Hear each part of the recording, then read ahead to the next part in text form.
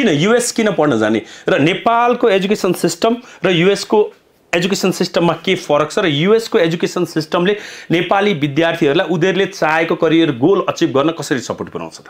Okay so युएसको education system एकदम गहिरो छ होइन? सो पहिलो प- प्रथम त हामीले हेर्ने बेला जस्तो अब मेजर र माइनरको कुरा गर्न सकिन्छ। नेपाली एजुकेसन सिस्टम भनेको एकदम रिजिड छ स्ट्रक्चर छ. एक्ज्याक्टली विद्यार्थीले बायो भयो भने यति यो कोर्स फिजिकल भयो भने यो म्यानेजमेन्ट भयो भने यो भन्ने जुन भनिन्छ नि। सरकारले नै गभर्मेन्ट नै पहिले रिजिड गराइदिएको छ। तर। युएसमा एजुकेसन कस्तो छ भने अलिकति लिबरल छ। जस कारणले गर्दाखेरि विद्यार्थीले फ्लेक्जिबल पाउन सक्छ। होइन? उसलाई चाहिँ फर इक्जाम्पल मलाई फिजिक्स पढ्न मन लाग्यो साथसाथै मलाई फिलोसफी पनि पढ्न मन लाग्यो भने मैले दुइटा मेजर गर्न पाएँ। अथवा मलाई फिजिक्समा इन्ट्रेस्ट छ रिलिजन पनि मलाई अलिकति इच्छा छ भने मैले फिजिक्स मेजर रुच्छु र माइनर चाहिँ हामीले के लिन पायो रिलिजन लिन पायो। र अर्को कुरा भनेको युएसमा कस्तो छ भने जस्तो भर्खरै प्लस टू पास भएको विद्यार्थीहरूलाई त के छ इन्ट्रेस्ट भनेर एक्सप्लोर गर्न पाएको त हुँदैन त्यस कारणले। गर्दा युएसले के पनि अपर्च्युनिटी दिन्छ भन्दाखेरि अनडिसाइडेड भन्ने पनि मेजर हुन्छ। जस कारणले. गर्दाखेरि हजुरले चाहिँ गएर विभिन्न विधाहरूमा कुनै लको क्लास कुनै मेडिसिनको बायोको सबै लिएर चाहिँ अनि एक वर्ष भइसके पछाडि बल्ल हजुरले के डिक्लेयर गर्न पाउनुभयो त ए मैले विभिन्न क्लासहरू लिइसकेँ मेरो एक्चुअल इन्ट्रेस्ट त यसमा रहेछ है भन्ने हिसाबले हजुरले मेजर डिक्लेयर गर्न भनेपछि। सुरुमा जाँदाखेरि म जेनरिक रूपमा जान्छु मेजर कुनै पनि डिसाइड गर्दिनँ र म हप अन गर्छु। मानौँ न म म्यानेजमेन्ट स्टुडेन्ट हो भने लको पनि अलिकति क्लास लिन चाहन्छु साइकोलोजीको पनि अलिकति बिट अफ क्लास लिन्छु। अनि त्यस पछाडि मलाई चित्त बुझ्यो भने चाहिँ सेकेन्ड इयरबाट चाहिँ स्पेसलाइजेसन चुज गरेर जान पाउने भएँ। मजाले। अर मैले ल मानु स्पेसलाइजेसन चुज गरेँ होइन?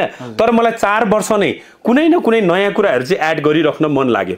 मानौँ न म चाहिँ अब मैले I did my MBA in marketing तर मलाई अलिकति साइकोलोजीसँग पनि इन्ट्रेस्ट छ। भने त्यो सब्जेक्ट पनि मैले कन्टिन्युस पढ्न पाउँछु कि पाउँदिनँ। मजाले पाइन्छ सर। अब यस्तो छ हजुरले कतिसम्मको डिफिकल्टिज देख्न सक्नुहुन्छ हजुर।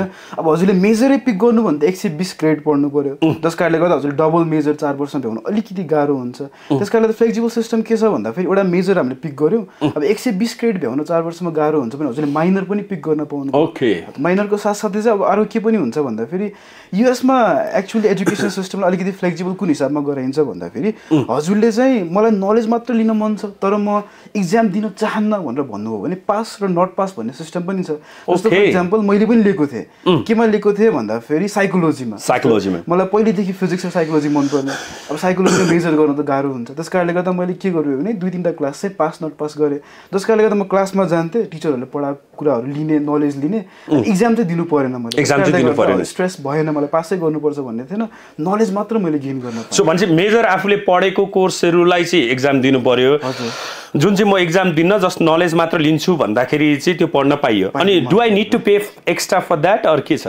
युनिभर्सिटी स्पेसिफिक हुन्छ। अलिकति हाई ऱ्याङ्क युनिभर्सिटीमा जानु भएको छ भने चाहिँ हजुरको ओभरअल जुन ट्युसन प्याकेज हुन्छ नि प्याकेजमा के पनि लगाम भन्छ भने लगाएको चाहिँ हुँदैन। हजुर। फ्रिडम ग्रुपमा हजुरले सक्नुहुन्छ भने एक सय बिस क्रेडिटको साटो एक सय चालिस एक सय साठी क्रेडिट लिएर पनि हामी पास गर्न सकिन्छ.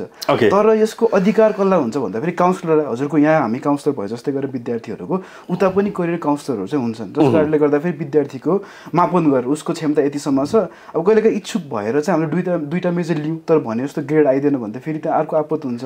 सो काउन्सिलरको अप्रुभल भइसके पछाडि हामीले मेजर र अन्य क्लासहरू पनि गर्न पाइयो मजाले